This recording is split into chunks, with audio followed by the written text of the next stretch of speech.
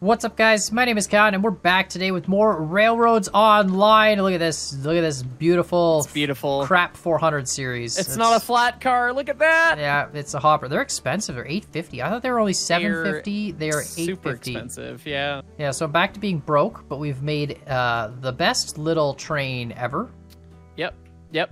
One hopper, one caboose, and one good old Betsy. Because, Yeah, you wanna you wanna drive Yeah. there? Let's get uh, Sure. Let's let's go. We're gonna we're gonna deliver some iron today. Yeah, to the smelter.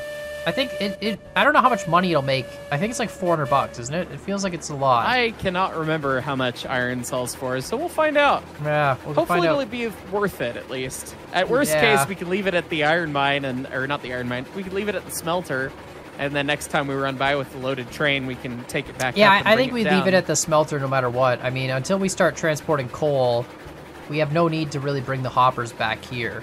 exactly. Um, once we start doing coal, then coal has to go all the way to the ironworks, which is like way to the south of the freight depot. Although I feel like, to be honest, since we're doing ridiculous stuff anyway, we should probably have a line that just goes over the mountain to the refinery, you know, ironworks area without I'm going. a fan of doing that line. I've Yeah. run it a couple times. Once, which was ridiculous, in a giant wooden trestle roller coaster thing. right. Which, One- uh, yeah, we, we we were there for that many years ago. yeah, and then we could have like. we could have um a help another helper station on the refinery side of things, you know, and like have multiple like because we have a helper station at the iron ore mine, which could carry you up to the coal mine, and then you go from the coal mine up to the refinery. I guess we need another helper at the coal mine. We'll just have helper stations everywhere. You know what? That's We're just what's- gonna buy all the engines. all Yeah. of the engines, yeah. But I feel like that route is like it's just so much more direct. I mean, having to bring coal to the ironworks, but go all the way to the north side of the map and then all the way back south—that's insane. It feels like a lot of work. Yeah. yeah. So why not just make it a lot of work and just go up and over, but make the linear distance very short? I Well- support it. to be honest, we could actually, we could make a line at the coal mine that, um, yeah, I guess we could make a gravity line. I was thinking, but then we're, we still have to bring the cars back up sometime. I guess you could. Yeah, they ultimately need to make it back up the other way for yeah, sure. good times. So, uh, You- what you what fun have- facts do you have about hoppers, Hyce? We're we're on the fun, Fun, facts, about hoppers. fun oh, facts boy. part of the episode. Play the Fun music. facts part of the episode about hoppers. I mean, hoppers. It's interesting. Uh, so remember, I work for the Colorado Railroad Museum, and we primarily have artifacts from Colorado, from many different railroads. But the the one that we have the most of is the Denver and Rio Grande Western, which is the modernized version of Denver and Rio Grande. Which there are a number of engines in the no, game. no with. hopper cars. No hopper cars. Yeah, they, that? they didn't do hopper cars. they didn't do any hop. Okay, so They, they had they had gondolas instead, which were basically flat cars with uh, a smaller hopper on them. Some of which were drop bottom, which are really cool, kind of like this hopper is. But they, they never had a true hopper car like this. So the only thing I know about hoppers is that there were two ways to empty a hopper, as far as I know, which is one is a drop bottom, and that's where the bottom opens up with like little chutes, like this does, little hatches, and then you you drive the car over like a, a mesh, and then it all falls underneath the like through the the mesh fencing, whatever, into the collection area. Um, like there's like the rails are open, and then the other way was they would disconnect the hopper car and tilt the whole car on like a big rolling barrel thing. Sometimes they wouldn't disconnect them, and funnily enough, What they would just roll it? But what? The you just had like a 360 coupler, like the a couplers had special draft gear that could pivot like that. So the coupler itself would remain coupled to the next car, but the draft gear had a pivot point in it in both ends so they could spin the car.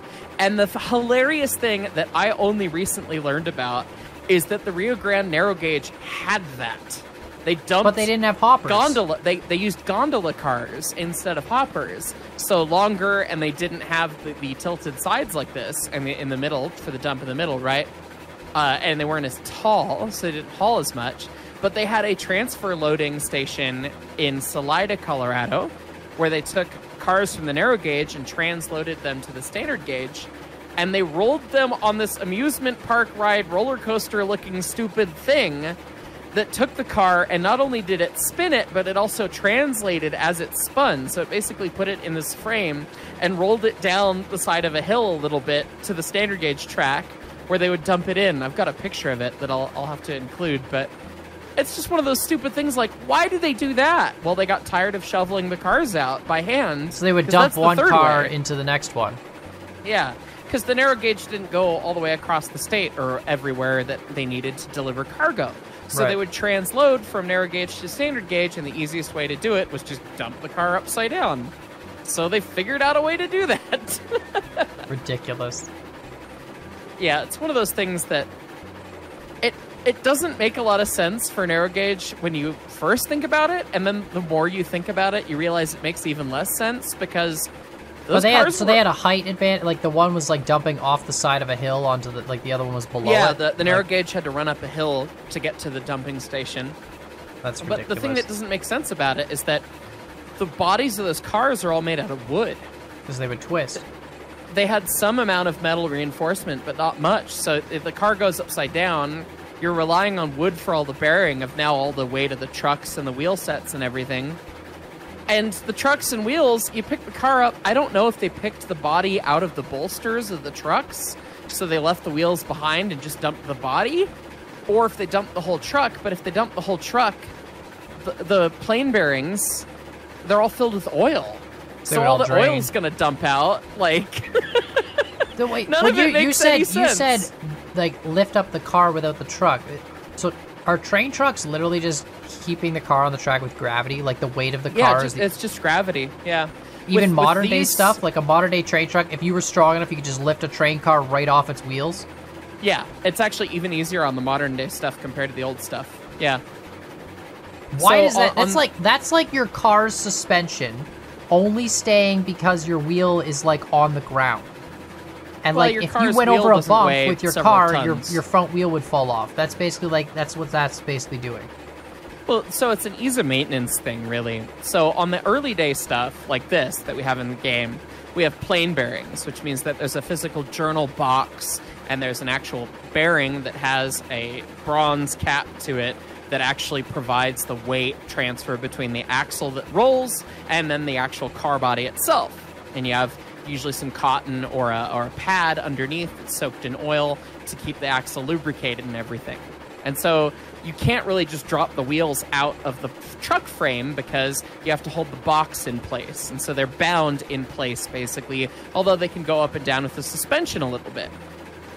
That said, the trucks themselves, they a composite assembly that has the two wheel sets, the boxes, the suspension, that is just held in with gravity and a center pin to the car body. But the brake rigging hangs from the car body. So if you have the brakes set, it squeezes the trucks, and so technically, if you have brakes set, it shouldn't fall away or anything like that. But the ease of maintenance of modern day railroading comes from the fact that we now use roller bearings instead of those plain bearings. And the roller bearings are just sat in by gravity because the roller bearings a contained unit. Part of it's on the axle pressed on, part of it is the outer housing that can spin. And so that spinning housing is mounted to the truck. The axle can spin within. And then if you lose gravity or if you were to go over a ridiculous jump or something, not that that happens in the railroad, but the truck frame is free to just leave that bearing. It just rides on it with nothing underneath. So how much how need to be much vertical movement would you actually need? Like like an inch, two inches? Like there's got to be a little bit of a nest involved there, right? to Like to totally lose the axle, you'd have to move, you know, the diameter of the bearing, basically, or at least the radius of the bearing, to then clear so like edge, it's like right. three, or, three or four inches or something. Like it's Uh, on modern day cars, it's actually quite a bit. It's about six inches because those Oh, okay, bearings are pretty huge. big. Because we're, we're talking about like 100 ton plus cars that are 85 foot long in the modern day. A lot bigger. So, uh, you know, it, it's definitely an interesting thing, but it's made maintenance easy because, okay, you had a wheel, get a flat spot. Okay, well, how do you change it? You just jack up the truck, roll the wheel out, put a new wheel in. No Right. bolts, no nuts, no nothing. You just right there, pick it up, boom, new one, done, sold. And, and and it's really efficient and it's really helped modern day railroading be a lot faster because previously with cars like this you would have to undo the five six seven bolts to undo the binder straps and then you'd have to take the boxes off and you'd have to jack the boxes as you're jacking the truck to make sure they don't tip and scar the journal and all this stuff and you're worried about it and oil leaks everywhere and it's a mess and yeah modern day railroading is actually pretty high speed in the way that maintenance is done. And uh, yeah, it seems a little strange that, oh my god, it's just gravity, but when you're talking about 100 plus tons above you, it really only needs to be gravity with how slight the changes are on the railroad. Do I get room service back here at all, or am I just stuck like fending for myself? Like I'm, you know, I'm just. You got a stove back there, cowboy. You don't get room service. Yeah, Cook my for stove yourself. is going, man. I'm I'm cooking up some something fierce. You know, you ever seen the show Breaking Bad? That's what's happening in this caboose right now. Okay, that's okay. Walter, Walter, put out the fire in the stove. yeah. ah man, that's good. That's good. Uh, we're now breaking trains. yeah, we're Uh, we're uh, yeah. It's fine. I can't believe they caught us crossing the border. Yeah, there's only one line. I mean, we had to. They just they just sat here and waited until the train showed up. Like it was, you know, it was. Dude, so it was funny. A uh, bit of international drama between my country and your country, by the way. So Oh, okay. I used to work for BNSF, which is the biggest railroad in the United States, and they have a couple lines that run into Canada. And How, do, how does them- that work? Uh, the, they still own the rail in Canada, but it's on Canadian soil, but they, they own it as their company, like, Exactly, exactly. and, And, they only have they an can run operating agreement. on it. They have operating agreements with the territories to operate it there, but the rules for the labor and everything get all different because you're in Canada. So the machinists and people, it was always this huge problem because it would be like we'd have one station up in New Westminster that would connect to Seattle, basically up through Canada, up in the northwest. And like a locomotive would just routinely just break in New Westminster, and it would break so bad that they couldn't drag it back to Seattle or drag it across the border. And so we'd have to figure out visas and stuff and figure out how to send a machinist out of our shop who's capable of fixing it to Canada, and then they would have to drive there and fix it in a shift or do overtime. It was always a disaster, but we used to get all these emails about like, oh yeah, there's a hobo that's trying to ride across the border into Canada, and we had to stop the train and blah blah blah because the detector picked up a, a thermal image of a of a body on the train, you know, so we had Oh to stop the God. train and all this stuff. The amount of detection and automation that happens there is insane. All right, hold up. I'm gonna grab the helper. Okay, yeah, I think we're I think we're gonna need it. So we did the math. You probably We don't, but like you might. We, we might. We might. So we did the math. The porter is good for like 20,000 pounds on this grade by itself, Yeah, which is not a lot, but it's, you know, it's enough. And with the hopper's weight being like 13,000, and we added the caboose for fun and for completeness. Com- we added the caboose for fun com- and completeness. Yes. Uh, we might be over tonnage. So we're going to bring the helper just in case and have it out in front of Betsy. So Choo that if we need to. Oh my god, that throaty whistle. Dude, it, it's- comes it's- it comes flying out of the gate too. Like, oh god, I'm not gonna boy. overshoot this, am I? Oh, please, please, please don't bin it. Dude, it Kan. can fight its own brake. You could just go full speed with the brake on. It's like, brake uh huh. on. Is your is your brake awesome. supposed to work? Like, this is crazy. It's uh, a little bit sketchy because you have to use the round table to actually switch um, on. Yeah, exactly. switch on. It's not a lot of space over here, but whatever, it works. How am I meant to open Betsy's sand hatch? Do I just clip through the, the boiler barrel? Is I have that- no okay. idea. I- You I, opened did. it I clipped through the didn't? boiler barrel. I opened it. I figure while I'm waiting for you to get out front, I can try and get some sand in this thing, maybe. All right. Well, I'm out. Oh, oh, right. That's right. I have the brake on at 100% with the reverser and the reg, and it, I'm expecting it to hold it, and it doesn't. Dude, this thing's a monster. Please don't, please don't bonk me. Don't, bonk. sir. Out. Yeah, I was just helping you. Look, I'll help. I'll help line you up a little bit better. All right, uh, take it, take us ahead here. Uh, I'm actually not even at full boiler pressure, but uh, oh, it's here, fine. here we just, go. Just go, just go get out of the way, and we'll see how far Venerable Betsy can get this thing. Yeah, I'm gonna put her at like eight percent reg.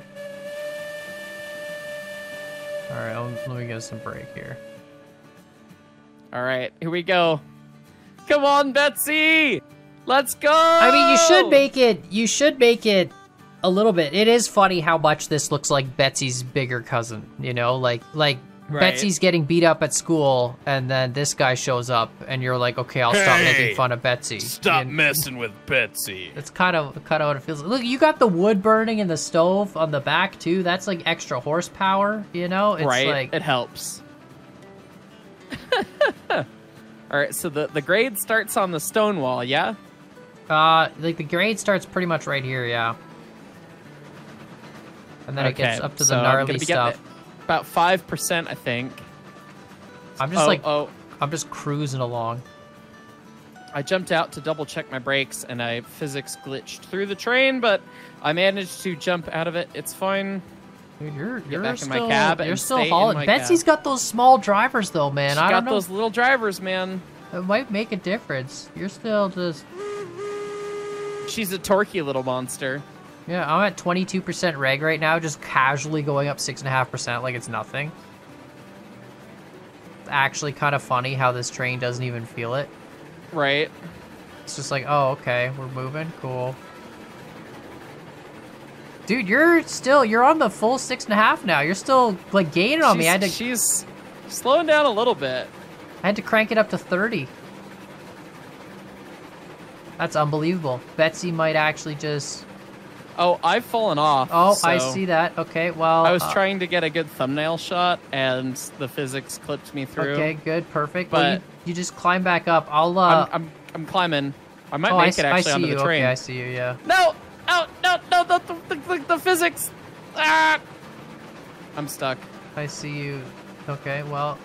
Good news is Betsy's still going. Um, Betsy's still going. Betsy's gonna go continue going without me apparently because she's just. it's okay. It doesn't matter. We're fine, man. It doesn't matter. It's actually doesn't- gonna make it. She's just gonna make it with the caboose. Okay. It was gonna be close, but I thought it was gonna I be I think the next climb is longer. This gets to 0% for a bit here, obviously, and then I think the next climb up after this 0% is a lot longer of a climb. I'm gonna run and try and clip the corner and see if I can head you off at the pass.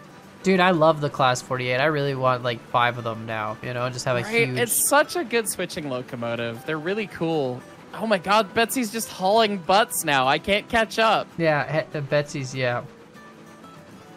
You gotta head us up at the next bridge here. I guess the the next pass, which I, I don't even I don't I can't I believe can you fell off over the there. train. What did we learn, okay, about well, jumping well, around we learned that being a client in Railroads Online is a painful experience between this episode and the last one. Okay. Dude, Betsy's actually still catching. Insane. Okay. All right. All right. I'm uh, I'm stuck. Okay. I'm in the caboose. Oh, perfect. the way car. I'm in the way car. I've made it. I'm like silent going up this hill. The one thing I will say about about um, the Class 48, obviously it's got the bigger drivers, but the piston Yep. size is huge.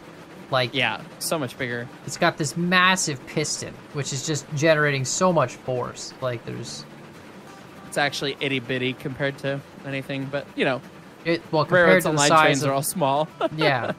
That's a good looking engine, though, for sure. I'm I'm really happy that we bought it as the first one. Dude, I can't believe you didn't even need me the whole time. Unbelievable. I am I'm really shocked. I thought for sure we were gonna be underweight. I'm just full steaming it ahead to go set some switches. Oh my god. Oh my god. I made it back to the cab. I can't believe it. The All right, physics so- was fighting me the whole way. We have to turn your whole train around. So we gotta. We'll have to run around either twice or we can Dutch drop one of the cars. Dutch drop the hopper, and then kick and the caboose. We gotta. oh, we drop. gotta We could do a double double drop. yeah, that'll work, right? Yeah. Okay, so uh, I'm gonna get close and I'm gonna All right, I'm applying a brake physics for this. collide through the thing. All right, I'm on the caboose. All right, because gotta- I'm I'm stuck. I'm I'm I'm stuck. All right, well I got I'm stuck. Betsy here. Yeah. Yep. Okay. we- well, I'm, you might have come in a little hot we this. we're not. Uh, yeah, because I'm just stuck. Physics colliding between yeah, the, the, the platforms the caboose cars. the caboose physics is tough. Um, dunk. that was a, just a little dunk. All right, so All right, I'm now on the platform of the caboose. Uh, bring him back. Yeah, we gotta we gotta we'll, run we'll around. drop we the gotta. caboose. Uh, we'll drop the caboose into the run around here. Oh wait, you have the hopper behind you. I do. Yeah, okay, we do need to move this then. I was gonna say, if you had the hopper in front of you, we don't have to move this. You can just hitch it up. But no, you don't. You have it behind you, so you still need to use the runaround again. So I gotta, I gotta move this out of the way.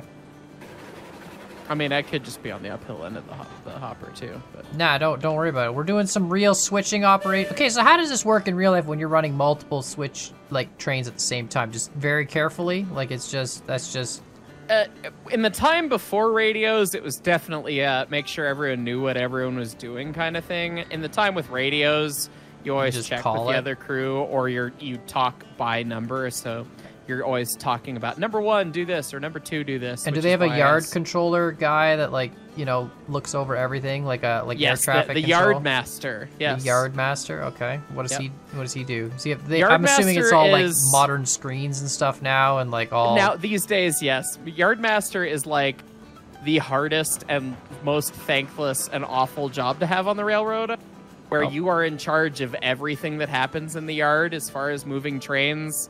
So building consists, building cuts of cars, building, getting engineers and conductors to the right places.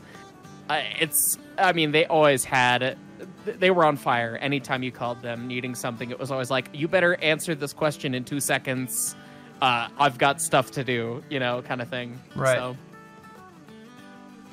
All right, I got the class 48 parked, ready to go back down the hill. Um, okay. I are- guess I'm going to uh, run around and, uh, Yeah, I'll, I'll do some switching for you. You got to run around, um, and then basically just uh, drop the hopper, and we can actually Dutch drop the hopper right into the caboose, maybe.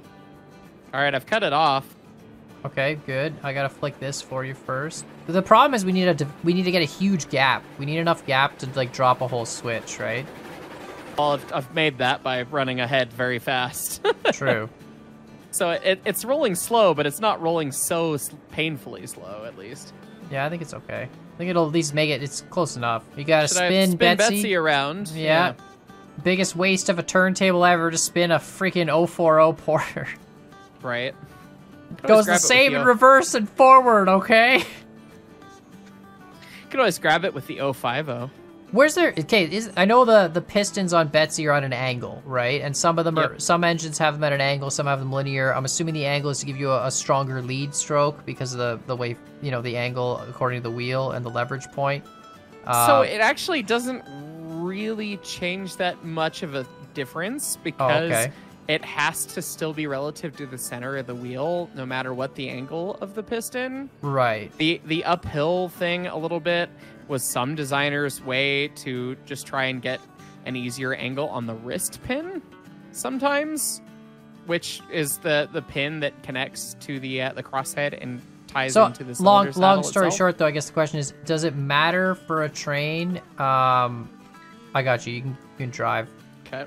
Does it matter for a train if uh the like like are they are they what's the word I'm looking for? Are they unidirectional? Like does it is it more effective to go forward versus backwards on a train like just on the piston setup or is it really not a big deal depending on It really doesn't make a darn bit of difference. Um, it it depends. Sometimes there are unique situations where it might make a bit of difference.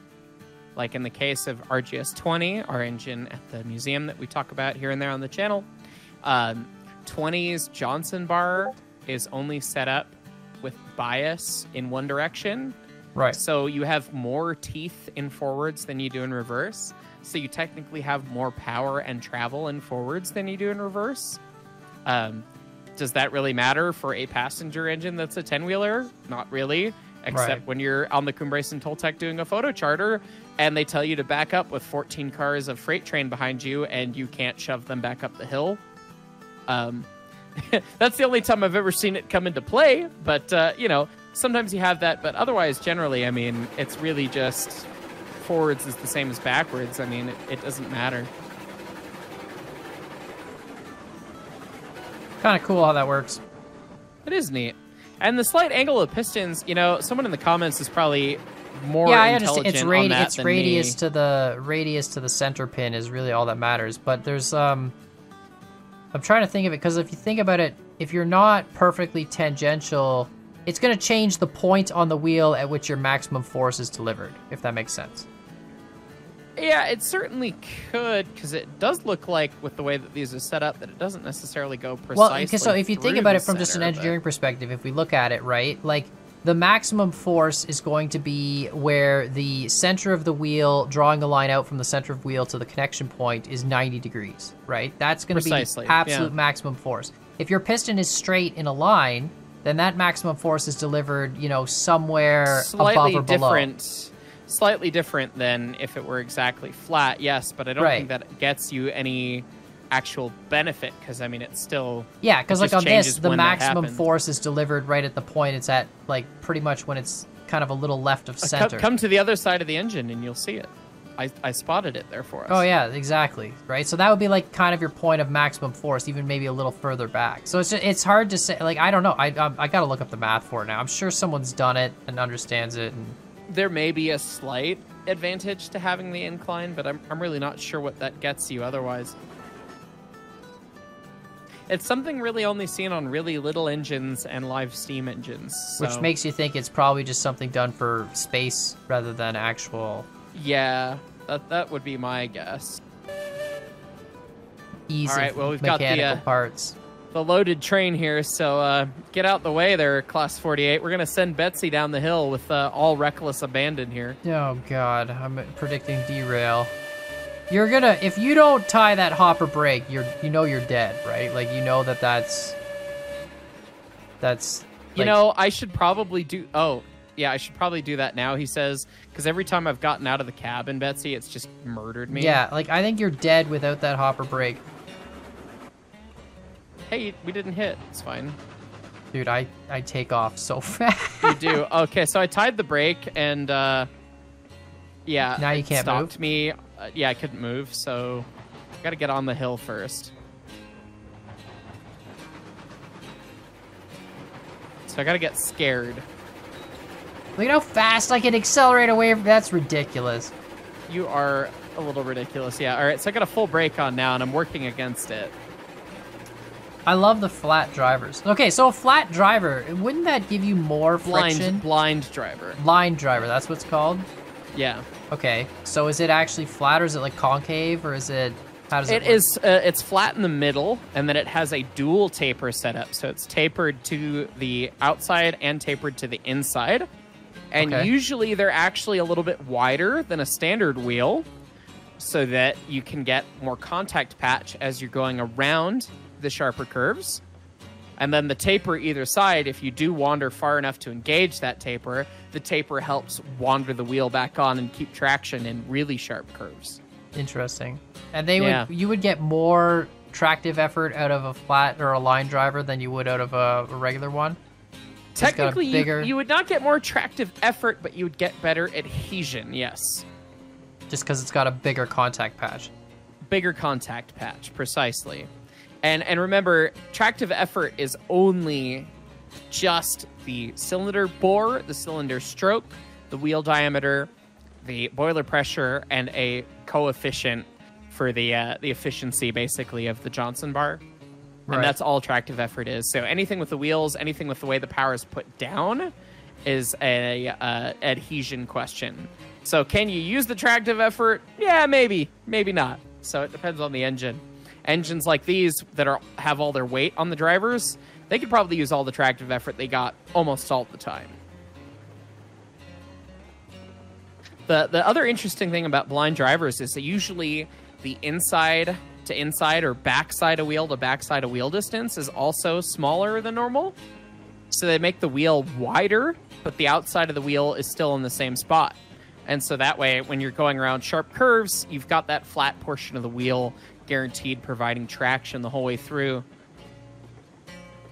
And uh, usually, blind drivers were like almost always for really big, long, rigid wheelbase engines. Right. And then the only other application you saw them in was crazy narrow gauge applications like these. So the Class 48 having one's not too surprising. They probably ran it around some ridiculous crap back in the day. Same and they would and they would have like wow you're still you're still hauling the mail that's amazing I've, I've, I'm working 100% against just the hopper's brake, and just the hopper's brake with the weight of that car compared to me and the and the way car. Yeah, I mean, it's really holding me back. if we had a, if we had a longer train coming down is gonna be is gonna be an interesting adventure Uh, I think that for sure. Yeah. yeah once we have more hoppers can't believe it didn't need the helper the whole time that's awesome good to That know was uh, amazing. I'm glad we had that protection in place and ready for us. But in the real fact that we life if you like yeah. they would just calculate the load accurately enough or would they do that would they send a preemptive helper ahead of a train and not actually or you just be like screw it if we're gonna run the train we're just gonna connect it anyway well, so usually they they do the tonnage math, and they have on the timetable how many tons the train was good for. You know, so if you had a, and a they were pretty class, they were pretty you had a accurate with that like going up they were they were pretty accurate, and they put a, a safety figure on it because we were actually doing that math back with the uh, the RGS-20 again at the museum again to figure out just how tonnage our train was. I'll wait for you up here. Um, we were doing that math to make sure. Okay, is it really tonnage for the engine, or is it close? And and it was decently close, but we could have probably put another car on really before it got to true tonnage based on the curve and the grade, not just the grade, because curves also add to the uh, the tonnage rating, which Railroads Online doesn't simulate. But anyway, um, it's one of those things where you'd calculate it and you'd have the weigh bill and the manifest of the train, knowing how much the train weighed, and you would try it out. And if it didn't work, and you were on a steep grade, and they knew that helpers were going to be a thing, they could always send up a helper after you.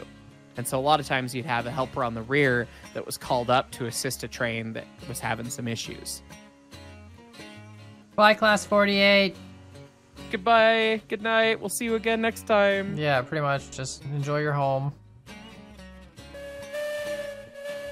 Don't worry, we'll get a climax and throw it there instead, or a Heisler. Right. That's going to be fun. All right, down to the smelter. The cool thing is now we're uh, flat grounding it to the smelter. There is a one percent climb up that bridge. Remember that bridge that was too steep? Oh, God. Will So, Betsy die on the 1% if if Betsy can't make it up to one percent, we might have a problem. But no, it's one percent. Betsy sure pulls like six hundred thousand pounds on flat ground. Like I think we're okay. I think we're fine. It's one car. This is a really cute train, though. I love the look. And, yeah, and the just, this is a cartoon increases the whole way train. If you've ever, you know, you ever want to make a cartoon train, this is exactly what it is. A silhouette This, of this. this is it. Yeah. Yeah. Love how disproportional the caboose looks. Right. Yeah, when the caboose is absolutely giant compared to Betsy. I mean, that, that really shows you, like, the Porter being the starting engine in this game. I mean, it's really an industrial engine. It's not really meant to be anything else. Right. There were bigger Porters that were used over the road, and uh, they Still were proposed as possible.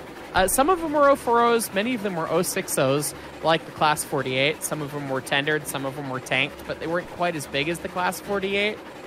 And some of those were used over the road back in the day, but uh, not for terribly long.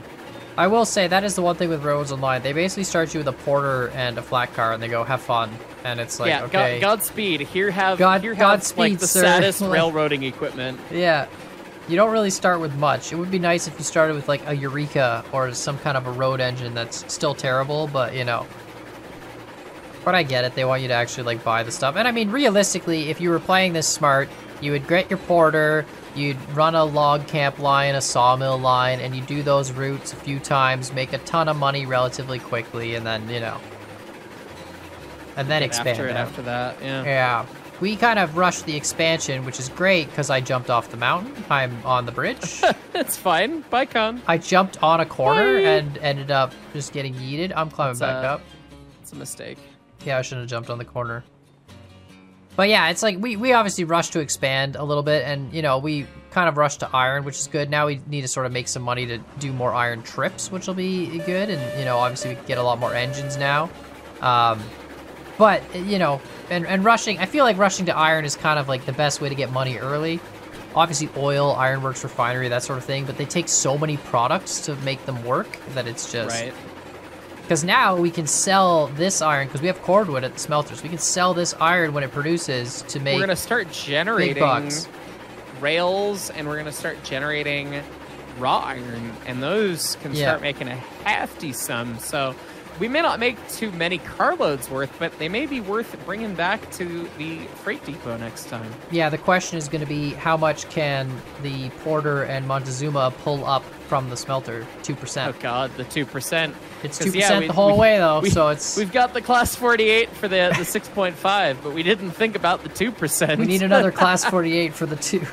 No, I mean realistically, we should get to the point where we have road trains where the two percent's not even a question. Like that's Right. Like that Two should be percent's not bad. Yeah. And honestly, I feel like if we only have like a couple cars, that probably Montezuma can probably handle it with just a couple cars. I hope so. I really hope so. You know it's what? a sad little choo choo. Yeah, she ain't she ain't the most powerful thing, but we gotta get some passenger cars in the game for Montezuma so uh, that she I can gotta feel throw special. this switch. You can go straight in. We do, yeah, yeah, yeah. Might as well Otherwise, we're gonna have to back in. in. Oh, Mario, you're good. Got it, nailed it. Nailed it, 100. percent Yeah, you can just drive straight in. Uh, normally we would have to disconnect the caboose, but I think we're the saddest little train, so we could probably just go We straight to the unload. Yeah, I think we're just gonna run right in and, and dump and then and back right there. out and leave. Yep. I don't think we need to do much else. Well, I guess we could leave the car here if we really wanted to, but just just go back with the the Betsy and uh, the porter and the caboose. Leave the coal car, the iron car. Oh yeah, it's a good call. Just run around it again and Yeah, so we can. so we can should drop the caboose on a different track then maybe. Uh, yeah, I can drop it, and then um, let me see here. Where can I drop? Slow down a little bit and Yeah. uh, and then just drop it off and it's flat into there and I'll pull ahead. All right, I'm slowing. A little bit of brake. Okay, we're good. Yeah, you pull ahead. I'm I gonna gotta, flip I gotta this over. Get my own switch. Yeah, you're oh, good. I'm not I, gonna be able to get my own switch. I got this. No, you're good. There's all the same lanes. You can just flick around. You're oh, good. well, I'm, I'm just not gonna be on the unloading track. It's fine. No, just back through the unloading track then. yeah. I dropped the caboose. It's over Oh, you here. dropped the caboose over there. Okay. Yeah, we're good. Which is actually good because the turnaround. This is perfect. I can just leave it there. The turnaround track is here because you're gonna have to spin Betsy. Um, Spinning again. Yeah, man, you gotta spin Betsy. You gotta play this. Actually, wait, no, you don't. We like to face the correct direction. Wait a minute. road, Okay. Actually, no, you don't. You don't. no, have to we spin screwed this Betsy. We up. were the already- caboose needed to be we on one of these lines. Oh no! I was gonna say I thought it was I, it was gonna make sense to drop. All right, we're here, gonna. you know, you're right. You're right. I screwed up. We're gonna drive back with the caboose uh, in the front of the train. Uh, it's a normal, That's, fine. That's standard operating procedure. shoving through the standard, standard practice here. Uh, Uh, uh, d- uh, do you have more money than me, sir? uh, I do. have 170 dollars. How much money do you have? Oh, I've got two hundred forty-seven dollars. Oh, well, I guess you're unloading- you're is it my turn now. to uh, to have the money again? Yeah, I got. I got some. I'm level five now, so I can buy all the stuff. So go for it. Okay. How much money did that make? big money now. Love these little drops of The, the drops are still uh they're still loading. All right, how much money did you make? Let's see. I've got four hundred forty-seven dollars, Kan. So you made like what, 200? I made I made like a little over two hundred dollars. Okay. I don't I don't remember exactly how that math works out, but that Good. cordwood is rapidly disappearing, which is sad and hilarious. That's good. That's good. We can start doing some cordwood runs, make more cordwood uh, money, and uh, more iron runs for sure. So you have 400 something. You said 400. Four hundred forty-seven. So we got to do another run, and then uh, If we You do know, it's another fine. run of this and more cordwood, I feel like like we could do cordwood down to here, and then do another run up to the iron and back. You know, we might be good to go. I think that's the move. Are you just leaving? You're just leaving this here. All right, cool. I'm leaving that there. I don't see any reason to put it anywhere else. Once the smelter starts really becoming more of a yard operation, I think, which uh, yeah, it's just not not yet. Yeah, when we get it its own class 48, or when Yeah. the class 48 that we have becomes part of the, uh, the smelter. Oh, I want to see people just come in onto the bypass line there uh, with their road train, unload all their cars, and then just leave. You know, and let whoever's running the smelter deal with the smelter. And when the smelter guy's like, like if you're coming to pick up an iron train or whatever, then the uh, keep going forward. If you're trying to pick up an iron train or whatever, the smelter guy, you don't have a brake, so you gotta you gotta push. Thank you. Okay, now you're good. But yeah, we could have the smelter guy. It's like, hey man, I want to come pick up a train of iron beams or whatever. He assembles the train in the smelter, parks it on the thing. You come in, pick it up, and leave. There you go. You know, real, real operational stuff. All right, so uh, drop yourself past the switch here, and then I'll, I'll run around. Wait, what? Drop yourself past the switch. Don't you just go forward now? Oh, I mean, we could also just shove through the caboose the whole way. But Oh yeah, no, we're shoving through the caboose the whole way. I don't know. Okay, think- why not? That's fine. Yeah. That's fine. This is how this is the Polar Express experience, okay? We do everything. Next, we're gonna freeze the lakes and drift a train across it, okay? Just wait. It's not how that works. Just not wait. How any of that works. Just wait. You just need. The problem is you're not thinking outside the box, okay? Instead of one Johnson bar, you just have two, one for each Tank side. drive. Tank right? drive steam engine. Exactly. Yeah, exactly. tank drive steam. en- Why did they not make that? Like I don't. understand. Differentials on each axle. Yeah, Yeah. it makes too much sense. Yeah. No. Exactly. Two sets of valves, two valve gear. You know, all that stuff. It would just it would just do the thing. It'd be perfect. Can you imagine? You don't need a turntable. You just put your uh, your uh, train in tank mode, and then And then just spin it around. Spin it around yeah, the spot. precisely. Yeah. and then while you're at it, get rid of the, the steel wheels and make them out of rubber. And instead of tracks, just pave a spot. Wait know? a minute. you know, you're getting a little crazy there. Steam I- I like seems really inefficient. Let's put gas engines in them instead. Make them a Uh, lot no, smaller. You're losing me there, Kan. I And don't. then- uh, you know and then I let's like make them so that if you wheel- if you smash them once they're like completely screwed and uh, let's give them to everybody Steel, steel wheels, steel rail, always, all the time. I don't. You're talking about some very strange concept. can you Um, imagine the guy who who um, you know drives his car with steel wheels on asphalt that that guy that guy is the true chad of all the groups There is that person who put like chariot wheels on like a Challenger Hellcat or something that I've oh seen. Oh my god why That's that's it's the most cursed thing I've seen this week. So all right so caboose we've got our caboose we're pushing through the caboose it looks wonderful it's got two little suspension pieces it looks like the entire axle just bobs up and down in that slot on a suspension like a leaf spring it does, yeah. It's a, a coil spring later, but it was probably a leaf in this era, yeah. What's the coil spring in the middle then of the caboose? What's that doing? Oh, that's a. You know, I think that's. I'm not as smart on bobbers as I should be.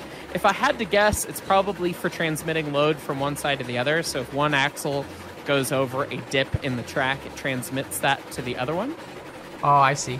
Like a, like it's just a really long truck, if I had to guess. But I am far from an expert on bobber equipment. Yeah, it looks like so it's I'll to attached to the- at, uh, It's stare attached at to a the one of side at of the leaf on either end of the caboose, so it's like it's, it's hard Yeah, to get so a view it's, of it. it's actually like steam locomotive spring rigging. It's fun. It's interesting. I feel like this is going a lot smoother than this would in real life. I feel like the yeah, uh, the caboose bobber would cabooses travel. are. Imagine riding on an ancient lumber wagon with metal wheels on a cobblestone road, but one of the wheels is broken. Right. That's kind of what a bobber caboose. Like these are like. these are teeth chattering to ride in, basically. If you're not quite teeth chattering, but close. Like, Yeah, if you were to you try and enjoy a nice cup of coffee in a bobber caboose while going down the rail, would you would you actually end up drinking any of the coffee, or you would just- not want to fill it all the way to the top, Hmm. or even close. You would fill it maybe halfway. wow. Oh, that's funny.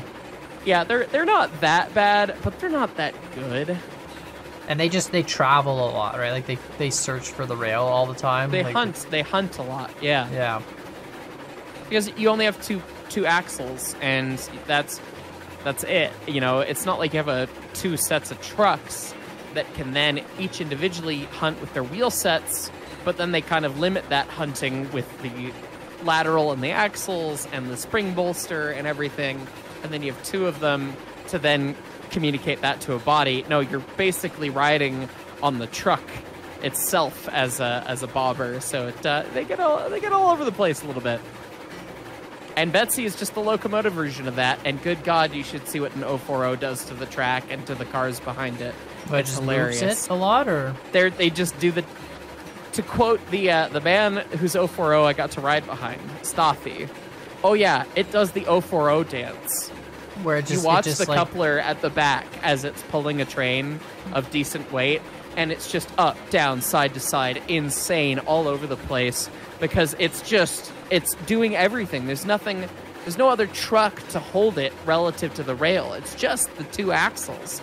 And so it's scooting left and right and up and down and up, you know, up and left and up and right. well, and and all this stuff. especially like as it's searching as it as it's putting down power, it's going to be searching for like the path of least resistance. So the wheels are like not every surface is going to be perfectly symmetrical. So the wheels are going to find like the parts that have grip and the parts that don't, and like yeah, yeah, that's yeah. would and the gauge slightly changes, and I mean, they, I mean, Yeah. they look like a cartoon almost with how much they're dancing around as they go down the track when they're working hard.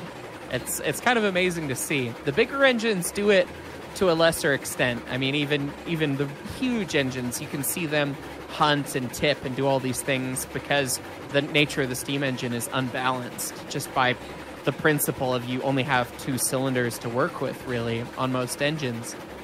So they all do it a little bit, but the 040 is just the biggest amount of movement up and down versus side to side, front to back. Uh, and so they do quite the fun dance down the railroad. They're amazing to watch. Well, it's getting to be about that time, Hyce. Gonna I think so. Gonna retire. We're almost to the old- freight depot. We're, we're shoving shoving the caboose in. We're you know Yeah. let's go stab it at the yard. It's not that exciting. So Yeah. I think that's that, man. Yeah, it was a good good trip. We need more money. We are so We- incredibly broke. We you know we said it a couple episodes ago that we were broke, and then uh, we made a lot of money, and, now it took a while, again. and then we bought an engine, and then we're broke again, and now Yeah. we need another engine, and we need more cars. Well, I feel like we could start running. We could start running like cordwood down, iron up, right? And yeah. then So we need we need more we need more iron cars. That's the real answer, and, and we. It'd be nice Iron to have a new road engine, yeah. but yeah, we need more iron hoppers first. yeah, like we have the helper engine, which I feel like can pull easily four hoppers up, probably, maybe. I don't know. I think that would be enough at least to start, and then we could look at maybe another engine. We definitely need another road engine because our road engines suck. Um, We love you, Montezuma, but you're yeah, also it's it's it's kind of Montezuma's getting that. What didn't you say? It only lasted like seven years or something. I think we're pretty much on the actual railroad by by 1880. It was Yeah, like, and we're I think we're on year we're done. seven, so we're we're just Pretty much. we're getting to that point. Um, time time for some bigger motive power. But yeah. But yeah, let us know what You you, guys think in the comments down below. Make sure you check out Hyce's channel. Put the link in the description. Uh, I don't know which lane you're going into, but whatever one, it's probably good enough.